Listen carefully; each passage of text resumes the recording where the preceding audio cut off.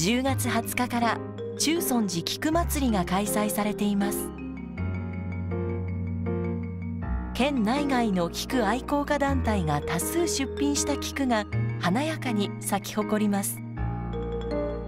中尊寺の菊祭りは今年で28回を数えるまでになりました。中尊寺の境内を500作品以上の菊が飾ることとなっております。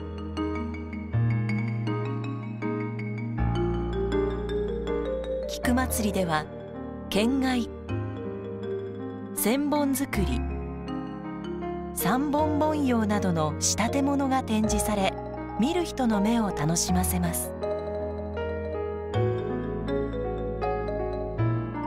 三本文様は3つの花が天地人を表し花の形や立ち姿で作品の良し悪しが決まります。平泉在住の菅原克夫さんは中尊寺菊祭りで何度も入賞している菊愛好家の一人です。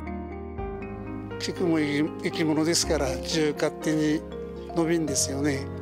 それを調整するのが、まあ、あの菊作りの技術だと思います。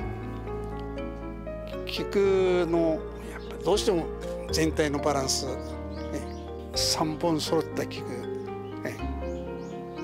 天地人の揃った菊を見てもらいます。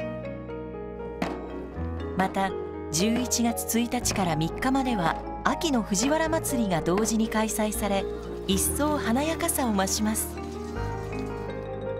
ぜひ秋の菊祭り、えー、11月の15日までとなっておりますのでぜひ皆様もお足運びいただければ幸いでございます菊愛好家の思いが込められた中尊寺菊祭り。ぜひこの機会に中尊寺にお越しください。